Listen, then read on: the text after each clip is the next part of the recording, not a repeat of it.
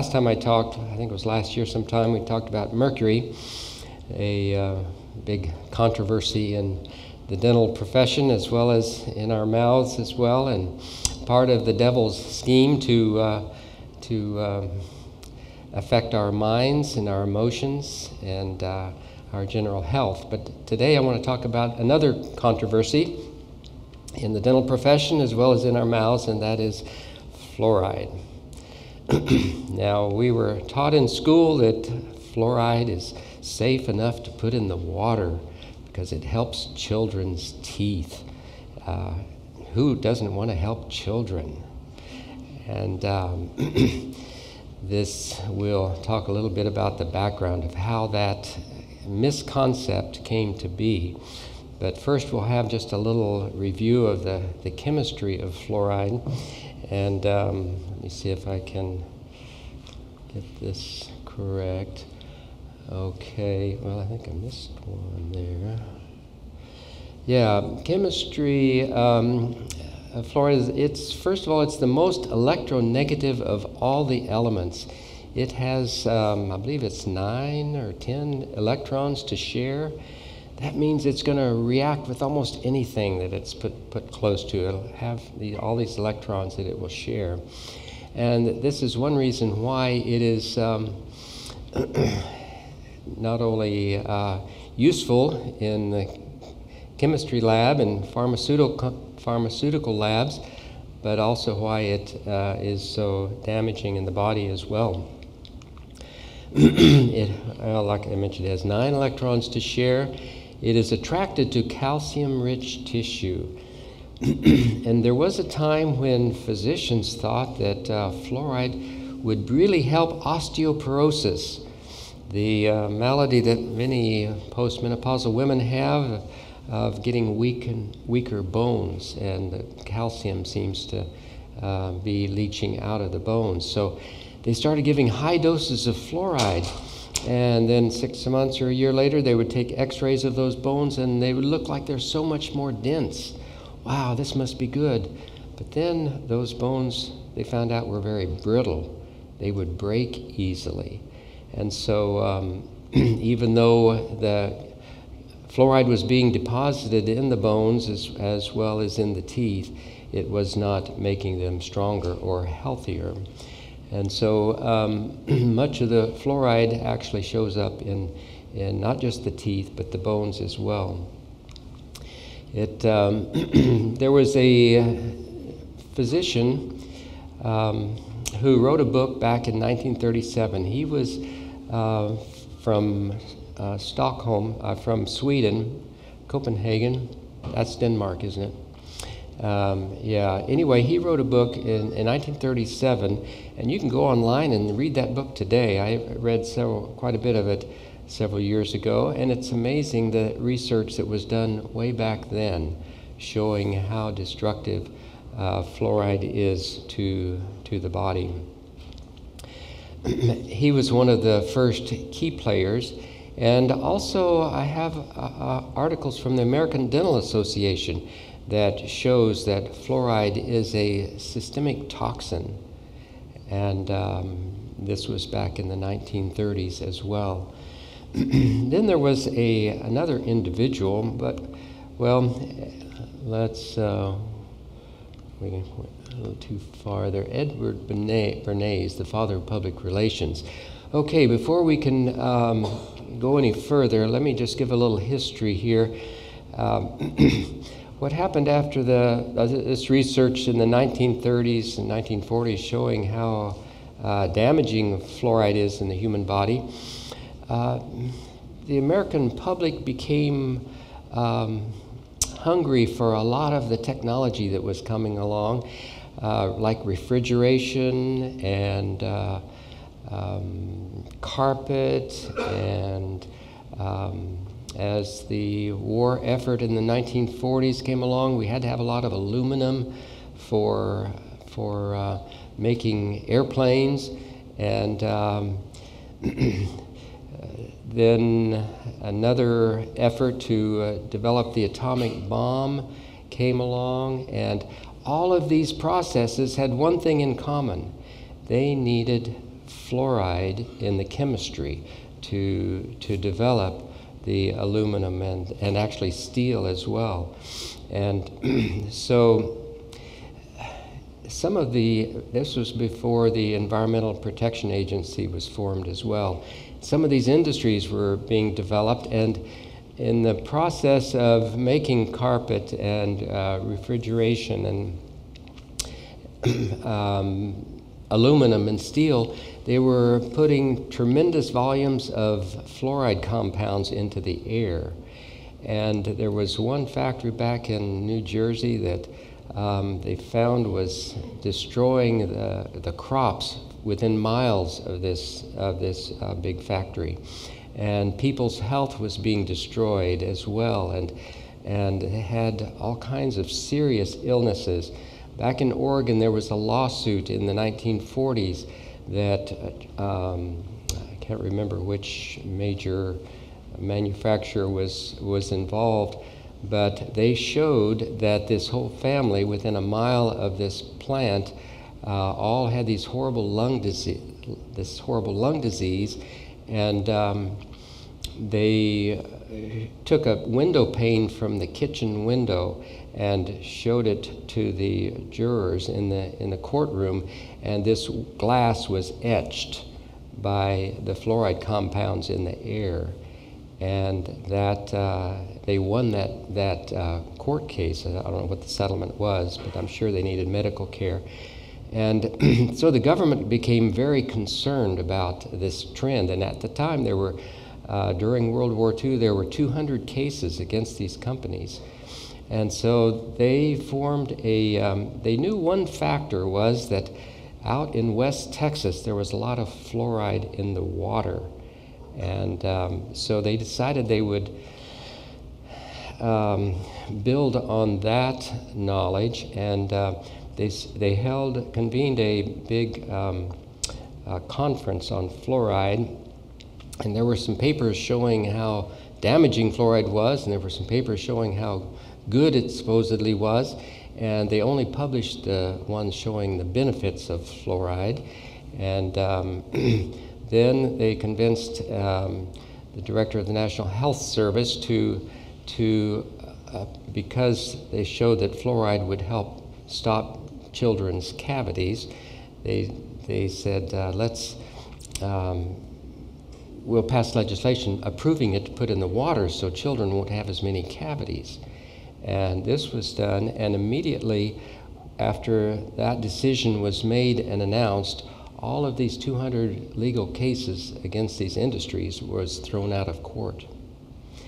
And um, then then came along, well, then they decided they needed to make um, fluoride a little more acceptable. And so they, they got a man by the name of Edward Bernays. He is known as the father of public relations. He showed uh, people how you can sell anything if it's done properly. He had been used to, by the tobacco industry to make smoking um,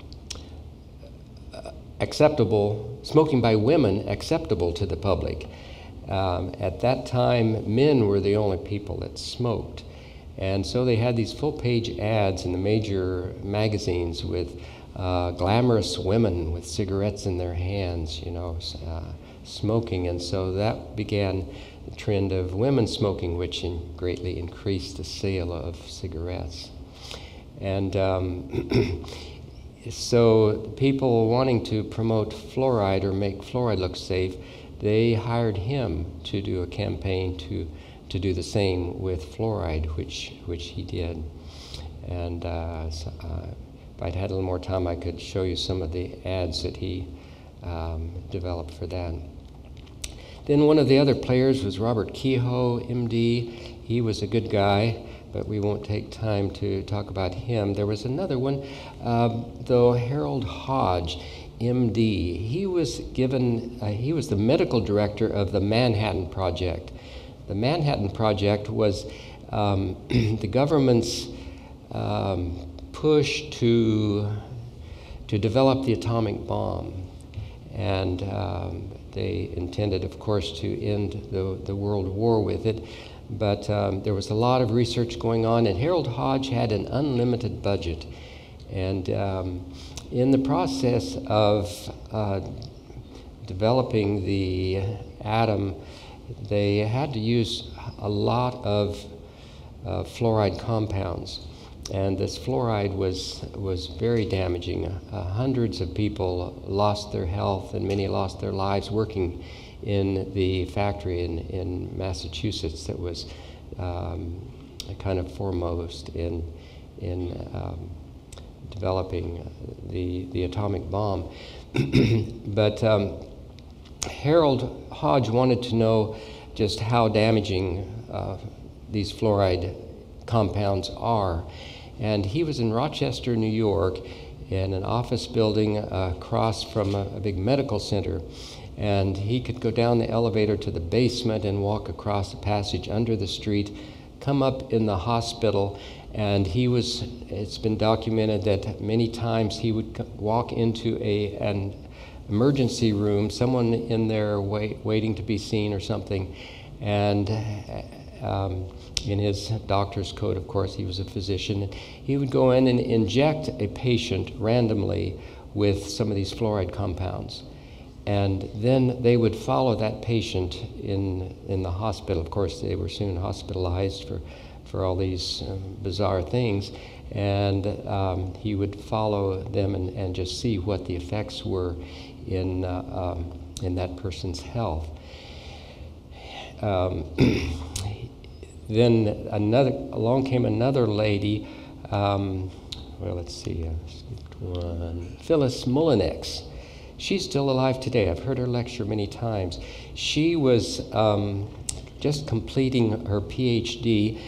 Uh, can't remember where it was, but um, she had developed a way of determining the toxicity of compounds by uh, the effect on rats and she had been um, given quite a bit of notoriety because of of this process that she developed. And as she completed this she was looking for a place to to work and do research. And someone suggested that she uh, study um, the effects of fluoride. And this was back in the 60s by then. And uh, so she began studying fluoride. And by this time, Harold Hodge was an old man living in the area, and he would come into her lab and uh, observe what she was doing. And she was finding, because of the behavior of these rats or, or mice with these fluoride compounds, just all kinds of bizarre things. And he would sit there and say, Yeah, yeah, I knew that. You know, I've known that for some time because he was seeing these same things that um, he had seen in humans in, in the 40s and 50s. But, um, and also another thing they did to make fluoride acceptable was they took five cities around the United States and um, decided they would, this was uh, when they were researching fluoride in the water. And they, they um, fluoridated the water in those cities, and they've taken another city nearby with the same population, a lot of the same dynamics, so they can compare them, and they would not fluoridate the water there. And um, um, so they began following people, and they had all these medical research uh, done of people in the in the cities that were fluoridated and those that were not. And um, there's a physician that was practicing in one of the fluoridated cities in, on the East Coast. And uh, she later wrote uh, her obs- observation. And what they would do, they would take the data from both of the c- cities and it would go through Harold Hodge's office. And he would distort and manipulate the data to make it look like the fluoridated cities the p- health of the people there was much better than those in the non fluoridated areas. But this physician wrote her observation, it was totally the opposite. And it was, it was just horrible, uh, the effects of the fluoride in the water compared to what it, she had experienced before.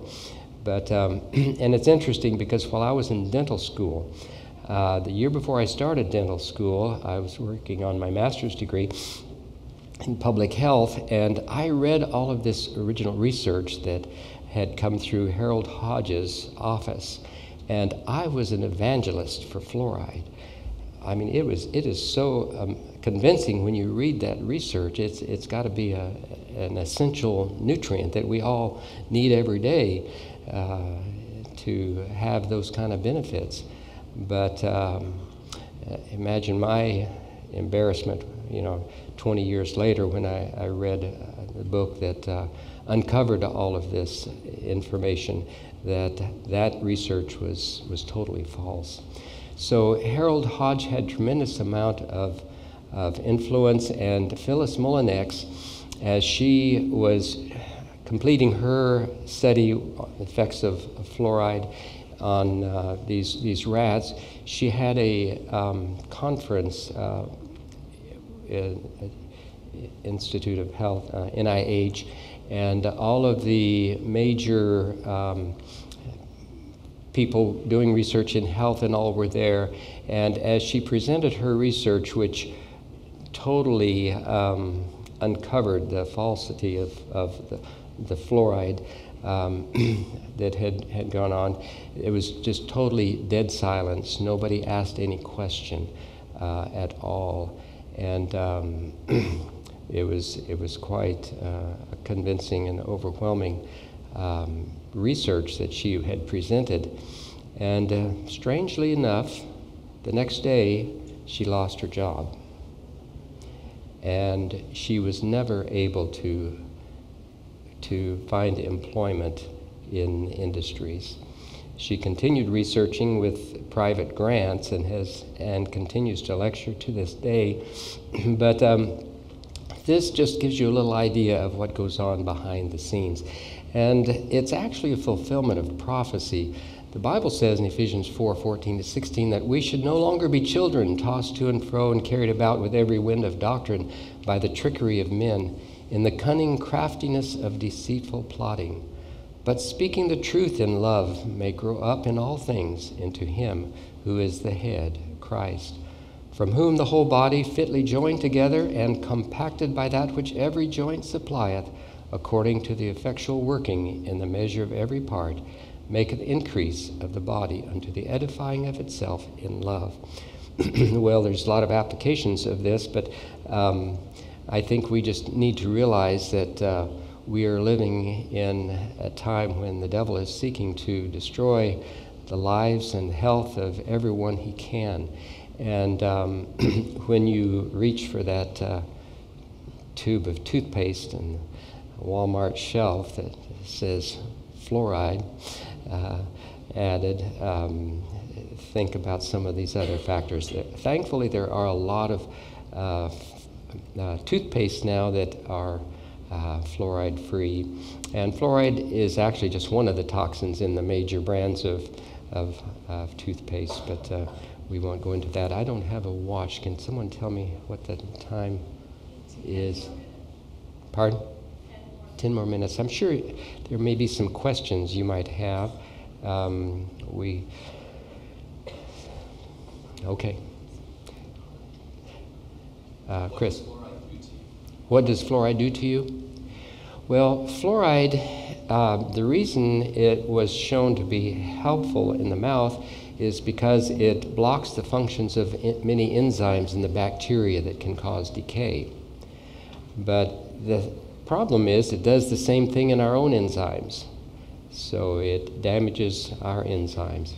It, um, the, let me go back just a little bit. The reason why it looked like fluoride was causing um, uh, or inhibiting decay is because it was actually slowing down the development of six year molars. And the studies that were showing decay were done on six uh, children who were six years of age, and they determined how many cavities they had in their six year molars. Well, what happens, the fluoride actually slowed down the development of these teeth. And so the six year molars were erupting much later. And so many children uh, that were um, drinking the fluoridated water um, didn't have six year molars, so there was no, no decay to report. And, um, but, you know, a year later, there would, would have been a different picture. And so it's just uh, strange how, how um, numbers can be manipulated. Uh, yes, in the back. So, how would you go about finding clean water if you are going canvassing in a big city that you know has fluoride? Well, I, it's been so long since I've drank um, fluoridated water or city processed water with the chlorine and aluminum and all in it as well that uh, when I do have to drink some of that water, I can actually taste these, these toxins. But I usually buy uh, spring water. Purified water is a little benefit, but by law, purified water has to be only 10% better than what comes out of the tap and so they um, just filter it a little bit, and, and you don't you still get a lot of the toxins. So um, spring water is usually the best. Mm-hmm. Kevin.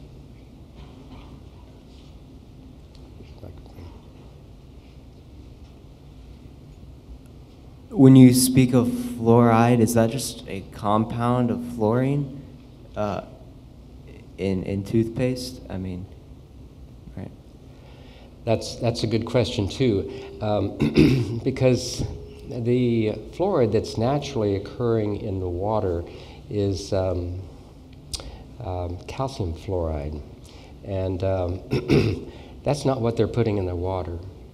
They're, what they're putting in the water is uh, fluorosilicic acid, which is breaks down to silicone and um, can't remember the other, the other product, but and the reason that was used because it's a byproduct of the phosphate fertilizer industry. Down in South Florida, there's huge industry that mines this stuff from the ground and making the phosphate fertilizers. and this um, highly toxic material was a byproduct and they had warehouses full of barrels of this um, highly toxic chemical, which has never to this day been tested in humans. but it's kind of like evolution. You know, you add enough billions of years, it's supposed to make it credible. Well, you take enough, a small enough amount, then that's supposed to make it safe. And so they put uh, fluoride in the water at um, like one part per million. They've recently reduced that a little bit eight tenths part per million, something like that. And the safe level is supposed to be from five tenths to 1.8 or something like that. But so they have a small amount, and that's and, and so you know about 20 years ago, all that huge reservoir of toxic stuff was used up. And then they began to um, import it from China as as uh, um, because we ran out of our product. And here are these companies that would have spent millions of dollars of trying to get rid of this toxic stuff, instead sold it to cities to put in people's water. Okay, I think we have a question in the back there. What kind of toothpaste would you recommend? Okay, people ask me that almost every day. I usually tell them that I don't use toothpaste at all. And if you have a favorite, you know, big industry you want to support, then that's, uh, you know, you're free to do that. But studies have sh- shown many times over the years that toothpaste does not have any effect on cavities or gum disease. And what is effective is the physical action of the brush against the tooth in disrupting the sticky plaque, and then you rinse that off, and, and your gums can be healthy even without toothpaste. The reason toothpaste is helpful for children, it's been assumed, is because it tastes good and makes brushing more pleasant, and so they'll, they'll uh, want to brush more. But um, yeah, you can have healthy teeth and gums without toothpaste. Okay, one question here, and then we'll go to. That's all right. So whenever I go to the dentist, every time they go and clean my teeth, they always like at the end they always put this one thing. I think that it's fluoride. If I'm not mistaken, it's fluoride, and they put it and they're like you can't eat for like 30 minutes. So is that like not It's, healthy? it's toxic. It's toxic. Yeah. It's, it's, So you, so is it like a choice? Like you can tell them not there is some it. benefit uh, topically that makes the teeth a little Do you use that? No. You don't use that. No. I, when I started practicing 42 years ago, I used fluoride for maybe one year, two years. And after a child threw up all over, I decided I don't need to do that. Oh no. but uh, Also, um, I'm asking for a friend. Um, what do white strips do to your teeth? White strips um, bleach your teeth a little bit, and they're They're not- they're safe. Okay. I don't. It's not fluoride. Okay, in the back. Is it um is this like is it safe to drink tap water here in Clark County? Well, thankfully, at this point, Amity doesn't have fluoride in Amity water, which is sold to Alpine Rural Water Association. And we, we buy our water from Alpine Rural Water Association. It is not fluoridated.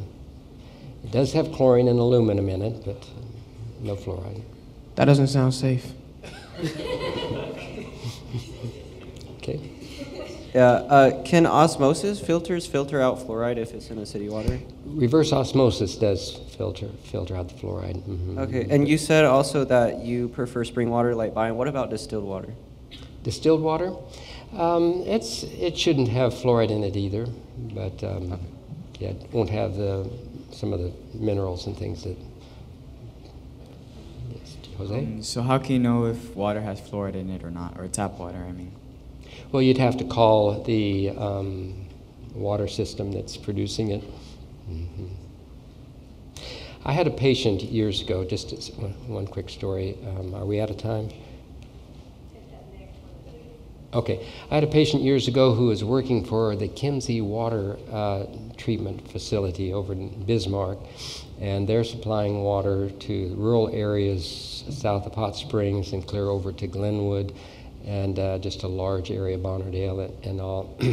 and this man had been on vacation for a while, and he came back to work, and they said, "Oh, there's a problem down there with the fluor- fluoride." Um, equipment and go see if you can fix it. And so as he was down there tinkering with it or something, uh, uh, line popped off and sprayed him with this concentrated fluoride product, and um, all over his arm and everything. And and um, within minutes he was in the emergency. I mean, they, he was really deathly ill, and um, because you know he had been told it was safe, it's good for children but they should have had a shower there. He should have immediately showered all this stuff off, but he didn't.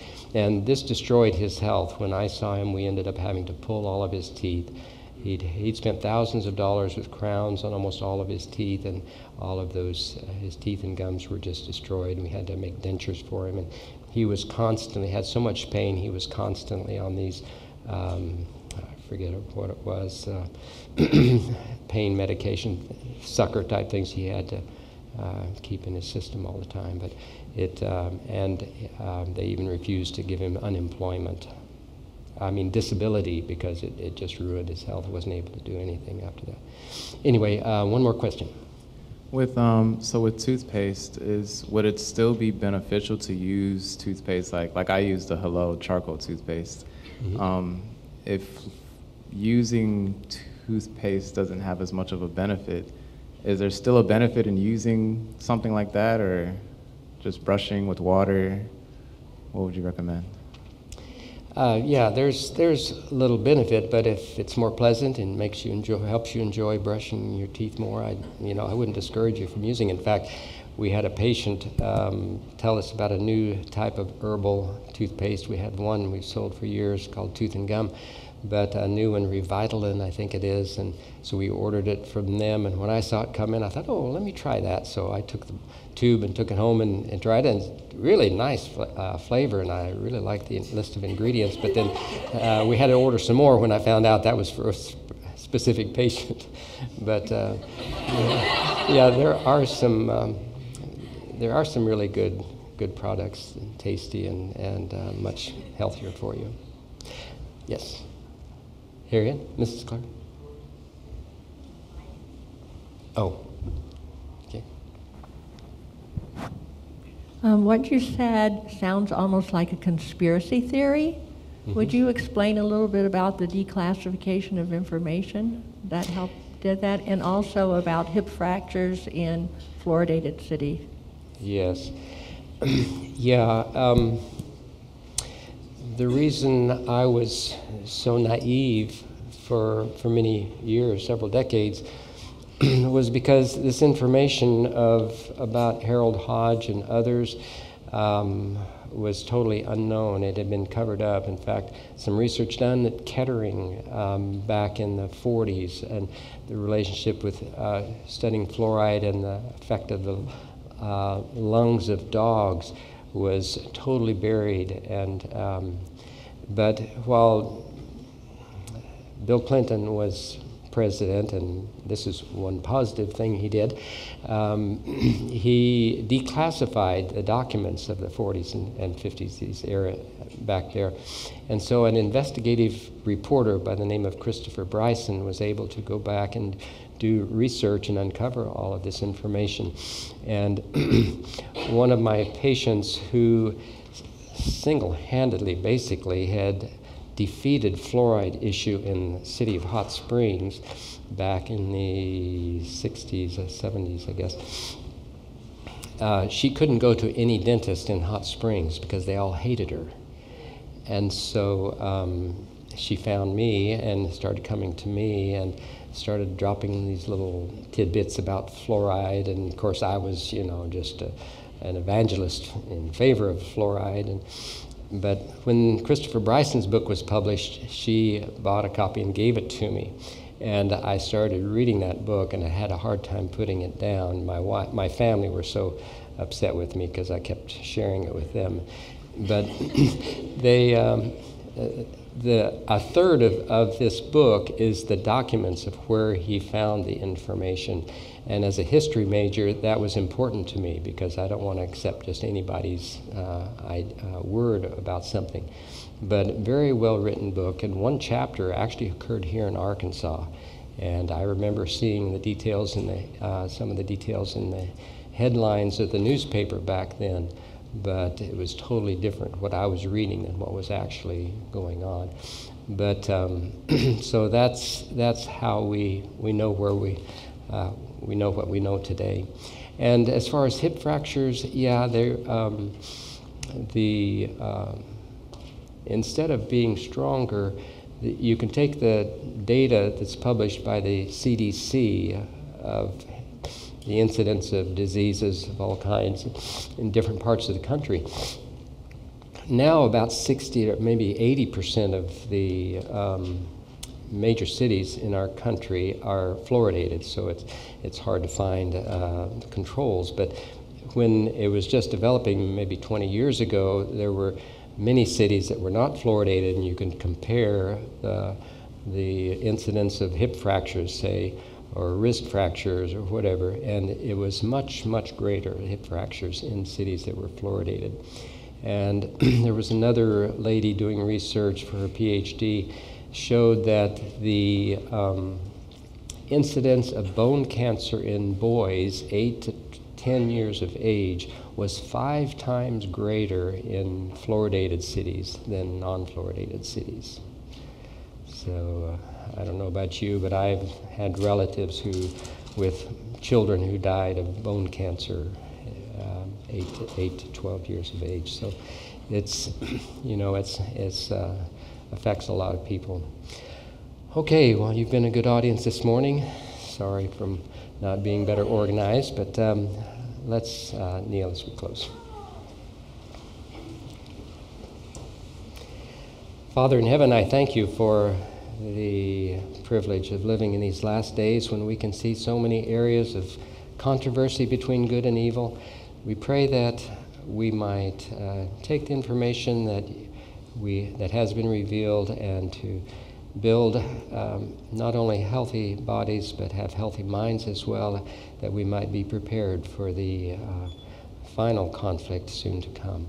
In Jesus' name we pray and ask your blessings throughout this day. Amen.